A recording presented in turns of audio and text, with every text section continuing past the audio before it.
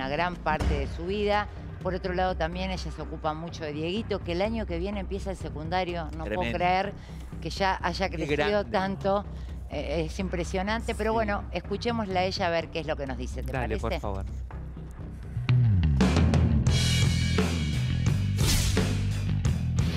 Vera Ojeda, ¿cómo le va? Bien, muy bien. Dieguito, Eugenio. Con Dieguito, sí, por supuesto. Bien, no, muy bien, muy bien. Vinimos acá a inaugurar una cafetería muy linda, eh, junto con Fer Maldonado, toda su gente.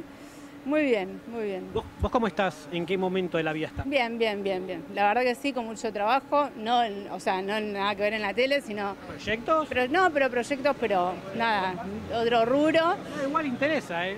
Sí, no, no, pero ¿Y se puede bien. No, sí, bien, todo bien. eh, laburando full, a full también con el, con la nueva etapa que va a comenzar el, el año que viene Dieguito, que ya comienza la secundaria, así Sí. que estamos ahí buscando a ver si, eh, si se queda en el cole o va a cambiar de Sí. cole. Y es toda una movida. Eh, Estás como más ocupada, digo, siempre te ocupaste de, de Dieguito, pero digo, alejada de lo mediático, más enfocada en la Estuve- familia. sí, estoy alejada un guardarte. Estoy alejada un poquito, sí, sí, sí, estoy alejada y, y sanándome un poco también, ¿no? Estamos viviendo un momento que se reflotó, también está por venir el juicio dentro de 4 de poco. por ahí es un momento más susceptible también. Mirá, yo te cuento que cuando estuve la otra vez siete horas adentro del juzgado, salí descompuesta y literalmente descompuesta mal, muy mal. Me hizo muy mal eh, estar eh, en esa situación con toda esa gente, pero... ¿Te removió cosas o momentos sí, del pasado? Sí, me parece que a todos nos pasó lo mismo. Eh, pero bueno, nada, así es la vida, sabíamos que esto iba a suceder, iba a pasar. Sabíamos que mm, en algún momento esto iba a pasar y estábamos preparando, estamos preparados para seguir luchando.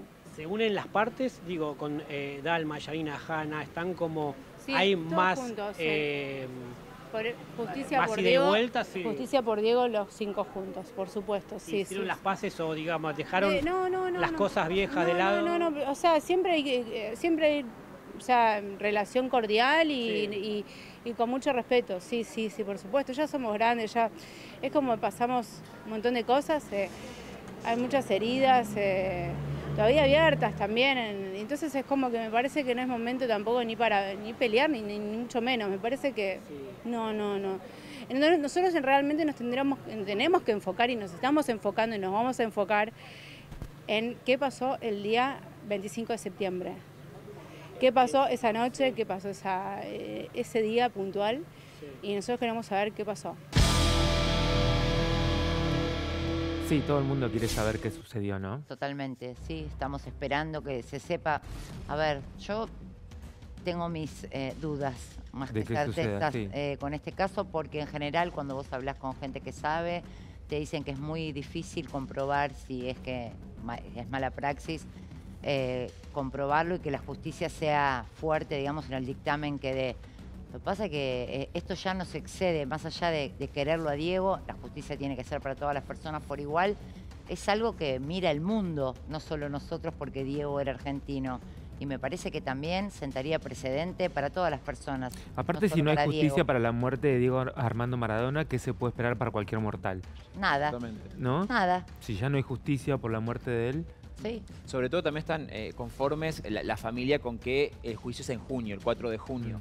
Porque se hablaba, yo lo hablé con Baudry, que ellos tenían miedo que lo pasen para el año que viene Claro. y que todo se dilate mucho más. Porque en un comienzo se decía que iba a ser en marzo el año Claro, que viene, sí, sí. después en diciembre, bueno, 4 de junio. Están todos los abogados, por lo que me dice Baudry, ya están todos alineados, que también es importante, que son los abogados de los hijos, de los herederos, y van obviamente eh, primero por los imputados, por los médicos, Leopoldo Luque a la cabeza, pero ellos lo que quieren después es también inculpar a Matías Morla, que era como la cabecilla.